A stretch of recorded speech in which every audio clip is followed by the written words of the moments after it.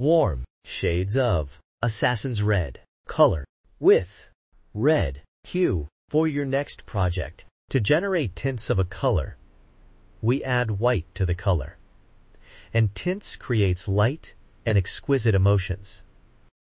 To generate shades of a color, we add black to the color, and it is used in patterns. 3D effects, layers and shades create depth and drama. Assassin's Red is a warm color, and it emits cozier and active emotion.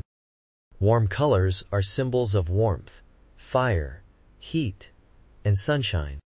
It also evokes joy, passion, love, and even anger emotions. You can see them used in restaurants and gyms,